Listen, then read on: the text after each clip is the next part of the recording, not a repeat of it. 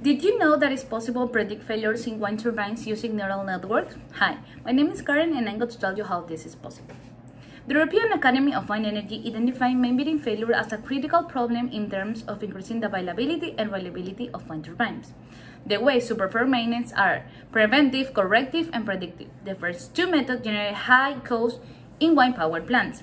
In this work, we use SCADA data, system installing every industrial-sized wind turbines and the network consists of 2D CNN sequentially connected with an LSTM to predict a slow speed shaft temperature, the closest to the main bearing. Additionally, normality model was used, means that we just need one class to train our network. We don't have to wait until turbine fails to predict new failure. To test our network, we use a faulty turbine and the proceed MSE signal exceeds the defined threshold. As we can see, on the other hand, we use a healthy turbine and the error signal never exceeds the defined threshold. Thank you so much.